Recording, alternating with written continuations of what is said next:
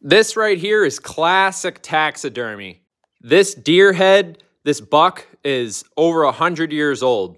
My great grandfather is solely responsible for this. This actually has pieces of the deer, unlike modern taxidermy.